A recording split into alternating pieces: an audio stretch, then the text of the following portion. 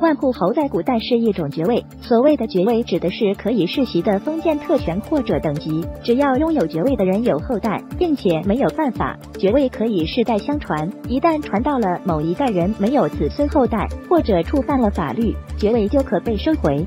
整个西汉两百多年的江山，也就是十一个万户侯，够难了吧？在同一时间段内，万户侯更少，同一时期最多就是三个万户侯。汉朝的这种万户侯的爵位封赏制度，来源于秦国的二十等爵位。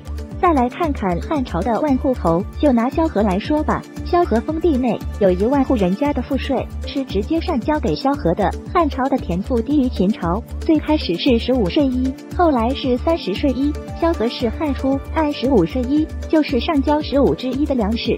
汉书识货制，今尼夫携五口至田百，岁收一十半，为粟百五十石，除十一之税十五石，余百三十五石。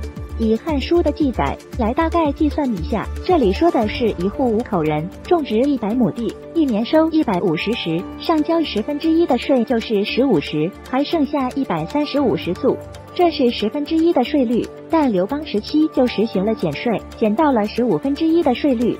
当然了，这种计算方法过于理想化。实际上，一户的人口达不到五人。汉朝一户平均人口是四点六七人。另外，每户种植粮食的面积也是有大有小，是每户的劳动力来计算。再加上当时的农业完全靠天吃饭，遇到干旱、天灾等自然灾害时，颗粒无收也有可能。